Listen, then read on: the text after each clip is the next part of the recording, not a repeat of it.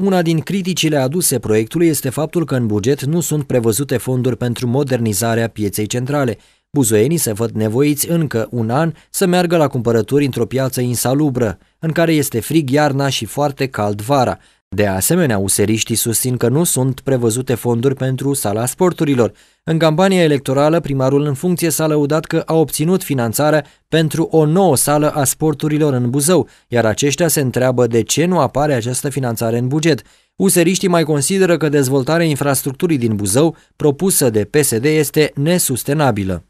În buget nu sunt alocate fonduri pentru asfaltarea străzii Alexandru Marghiloman. Da, știm, această stradă a fost asfaltată de curând, dar au apărut gropi. Dacă primăria nu poate ține pasul cu ritmul de degradare al străzilor, atunci dezvoltarea infrastructurii din Buzău propusă de PSD este nesustenabilă. Cetățenii se bucură de asfalt bun 2-3 ani, apoi circulă prin gropi încă 20 de ani până când strada lor va fi iarăși asfaltată.